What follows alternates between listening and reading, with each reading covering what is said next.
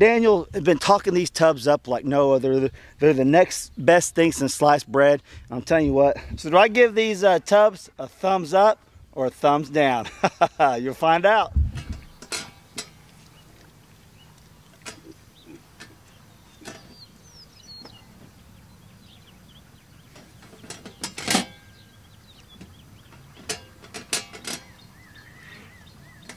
What's up everybody? Welcome back to the channel. Today, first I'm going to show you guys putting this water nipple on my automatic water for the little pigs. Um, you guys can see if you watch my video uh, from yesterday, day before, you, will, you would see I put a new automatic feeder in here and they couldn't figure it out for like five minutes and as soon as I turned the camera off, they figured it out. Pigs are smarter than you think.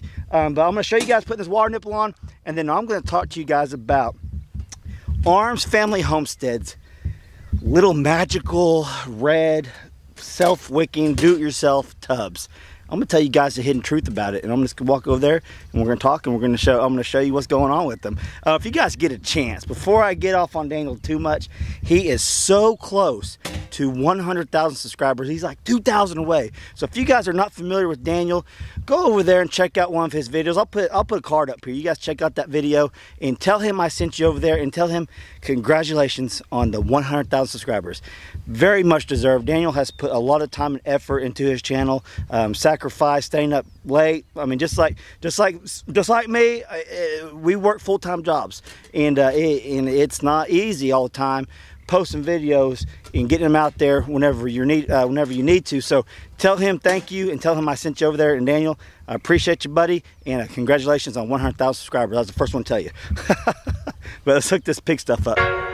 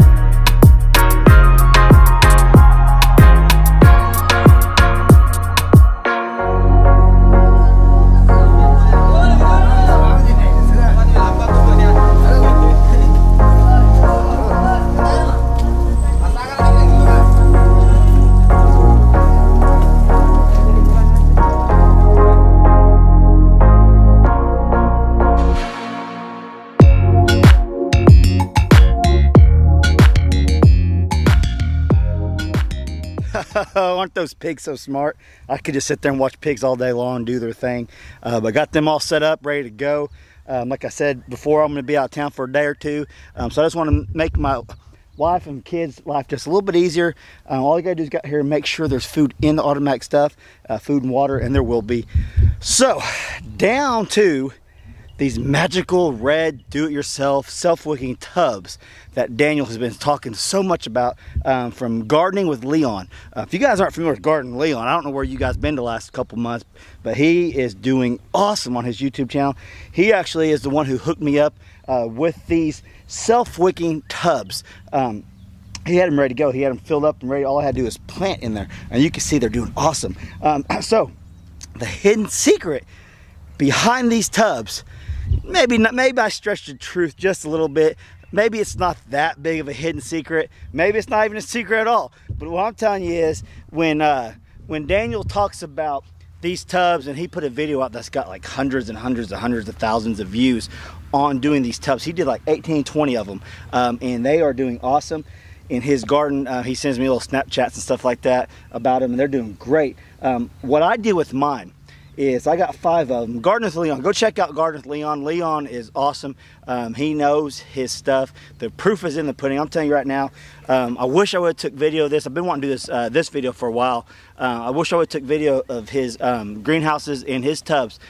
It, the hidden truth is these are no there's no comparison to planting your your garden in the ground compared to these when you do it the way Leon does. Now um, whenever he showed, he's, he's like Dutch let me show you this before you leave. Because I didn't get a chance to tour the whole place but he's like you got to see this. Um, he went he he took me over there on his golf cart showed me his greenhouse and on the same day he planted like 100 tomatoes in the ground in his greenhouse and on, in in that same day he planted like 100 tubs. I mean it was crazy. It's probably like 40 tubs 50 100 I don't know. And it was a bunch.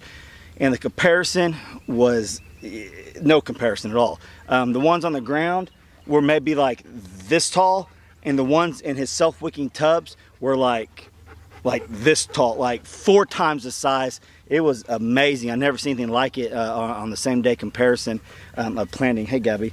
Gabby's over here wanting to hang out. Um, it was just amazing. And uh, he's probably got some i know he's got some videos out on that so go check out gardens leon also um, and, and, go check out these self-wicking tubs he has. Um, i mean they're pretty much you could say dummy proof, but we'll say Dutch proof because uh, if, if it could be messed up, I'm telling you, I've done it before. I could mess things up in a hurry.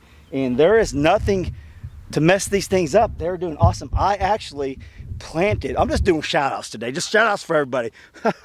it's so humid out here right now, it's crazy. Um, but I, I actually did a, uh, a garden, uh, uh I actually did a salsa garden this year with these tubs, but with the exception with my garlic. Um, Mark and Tina from Bumblebee Junction.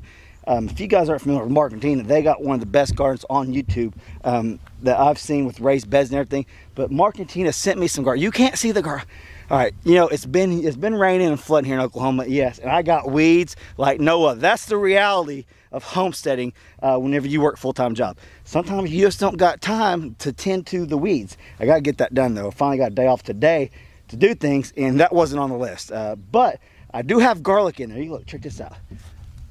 Yeah, I mean, it is growing big time. It's not yet, it's not ready to harvest, um, but it's getting there. It's getting there really close. Um, but if you guys get a chance, go check out Bumblebee Junction. Tell Tina happy birthday. Today is Tina's birthday. Tina, happy birthday from my family to you. Hope you have a great, great day, Tina. And have Mark take you out to a nice dinner. Tell him Dutch said, take me out to nice dinner. No, no, not Arby's or the dollar menu, Mark. Take her out to the Texas Roadhouse or something like that. You know, yeah, I'm a big OU fan, but I'll tell you what, Texas Roadhouse is awesome. I don't know if you guys have that in your area or not, but uh, we love Texas Roadhouse. Anyways, Tina, happy birthday. Hope you have a great day. So back to these, back to these tubs. Now Daniel has been talking these tubs up like no other. They're the next best thing since sliced bread. I'm telling you what, I'm I'm I'm liking I'm liking the results. Let's, let's take a look at it. Literally all I did is plant it, put the fertilizer in there that Leon sent with me. Let's see here. He sent me that. It's actually time to start putting some of uh, this other fertilizer that he put in, the, this master blend he has. It's time to put some in there. He said once they started getting uh, some vegetables and, and flowering out, um, it's time to put some of that in there. But I got, I already got, I've got some little tomatoes for my salsa. You can see over here, right there. And these peppers, I actually planted these late. So they're those aren't to do with the salsa. Those are just extra I have for the tub. But you can see my jalapenos. I got a jalapeno right there. Looking really good. I got my planted some late, late onions. So hopefully they'll make just enough so I can make a few cans of uh, salsa. Along with Mark's garlic over there. I know you can't see it. So overall, these tubs are awesome. And if I could make a good salsa blend, I'll start doing my salsa garden out here. Uh, next year I'll plant them early. I'll get some garlic planted in there. Then I'll have everything ready for the salsa. So that is my salsa garden you're looking at right there. Pretty cool. I'm, I'm impressed. All you do is plant them and forget them pretty much. Um, with all the rain we've been getting, I can actually see some water down in there. And, and there's a there's a little hole drainage so what you do with these uh, tubs, there's they're self-wicking tubs. They got a you can see a, a white pipe that goes down in there. There's another piece of uh, there's another piece of tubing in there. That let's get this out. There's another piece of tubing in there, and you could go check out um, Daniel's video. I either put it in there earlier or I'm gonna put it in here right now. I'll put a video to his how to make these. Um, it's like I said, it's got hundreds and hundreds of thousands of views. I think. Uh, I think Leon sold like 700 tubs that day at the meetup uh, because they're that popular. People are loving these things and they're loving them because they work. So let's say the hidden truth is that there's no comparison. When you do it Leon's way, you get better results with these tubs than you do just in the ground. Now, I'm not saying everyone's gonna get those results, but if you follow Leon's instructions, do what he says to do, you're gonna have fantastic results. So I guess they kind of are magical, aren't they? Ain't they, Daniel? but go check out Daniel's video. How if you want to make some of these tubs, you can go make them yourself. Um, actually, pretty easy to make. Watching him do it, like I said, uh, Leon already had these set up for me. But yeah, it's awesome. I can't wait um, to start making some homemade salsa. So if you guys have a salsa recipe that's really good, leave it down in the comment section below. Maybe I'll make it. We'll see. But let's check this out. I also did. We'll do uh, so. So a plus on the on the self-wicking tubs that Daniel has turned everyone onto. Um, Leon invented these probably a long, long time ago, um, but Daniel had, I got sweat going everywhere. Daniel has just put it on a platform where hundreds of thousands of people can see it. Um, but I did a video, let's do this, let's do an update while I'm over here. I did a video on a $5 raised bed, and let's see, I've been getting the questions. How's it doing? How's it doing? Let's take a look at it. So here's my $5 raised bed. Okay, now people said I may have overplanted this. I do have one pepper plant in here with two tomatoes. Um, I did put a little bit of feed on there. Um, and this is actually getting ready to produce some peppers. And you can see this big old green tomato I got is doing awesome. I got some little cherry, or I got some little, I think them some Roman tomato. I don't know. I got some tomatoes over here too. So the $5 raised bed is doing awesome. You can see maybe people just kind of doubted me and said that would never grow. Now this one right here, I think the dogs tore that out. So um, there was two pepper plants, but now there's only one. And it is getting ready to produce some peppers. Look at that. I got tomatoes in my $5 raised bed. That's what's up. So there, I've proven it. I've proven anybody could grow a garden in these tubs. And you can have a $5 raised bed just like that, and you can grow tomatoes and even one bell pepper plant in there. So everything's looking good besides all the weeds. Forgive me for that. That's just kind of the reality of it. I'm not going to hide it from you guys because I can't. Um, I'm too lazy to get here today and pull these weeds, and they need to be pulled, no doubt about it. Um, my, my squash plants are doing awesome. Check, check out my squash. Now I'm telling you, this was weed free about two weeks ago, but I got some baby, I got some squash going in there. I'm impressed with my squash. I haven't grown squash in several years, and I actually, we love squash, and it's doing great. That one, for some reason, I don't know if there wasn't, I put fertilizer over here too, but you could just see the difference. And here's one thing, this could be it. I had my chicken tractor over here on this and it didn't get, the tractor never really got moved to the front, but all the chicken poop was right here. So maybe that's, I bet that's it. Um, it has really increased that a lot.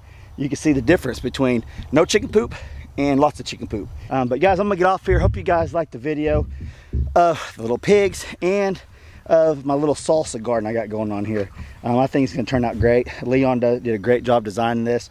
These, I don't know who ever invented it. Maybe it was Leon, I don't know, but he did. he does a great job. And uh, I'm pretty happy I got five, wish I got 10 now. So next time I go down there, I have to get some more. Um, so it's pretty cool. I'm excited for it. I'm excited it actually works and it's very low maintenance. And guess what? There's no weeds in there. All right, y'all, thanks for watching. Hope you liked this video. If you did, smash that like button. And if you're not subscribed yet, please subscribe right there. You guys, thanks so much for watching. I really, really do appreciate it. I'll catch you on the next video.